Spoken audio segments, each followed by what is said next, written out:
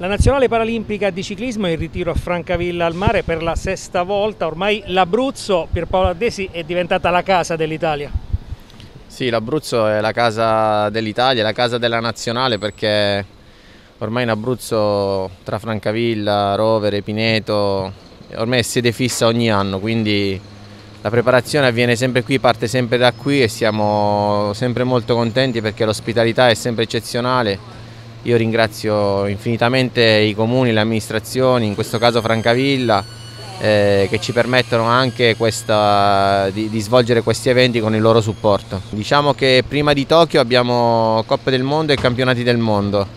Eh, Tokyo ci sarà a fine agosto, è stato rinviato lo scorso anno causa, come sappiamo, pandemia e, e niente, però adesso cerchiamo di, di, guardare avanti e soprattutto di, di fare bene. Ecco sono tre abruzzesi nella nazionale paralimpica, oltre a Pierpaolo Addesi. Sì, c'è Ivano Pizzi e Emma Marcelli.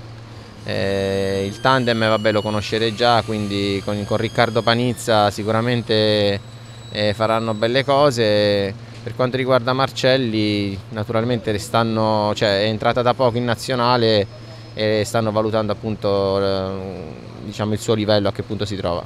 Sono veramente tanti anni, ogni tanto mi metto a contarli e ne sono veramente tanti. Io finché sto bene mi rendo conto di essere ancora competitivo, lotto per, eh, eh, comunque per dare qualcosa a questa maglia perché è molto importante. Un giorno spero, quando smetterò di correre in bicicletta, di dare comunque un supporto a questo ambiente perché lo merita in quanto per me è stato di fondamentale importanza.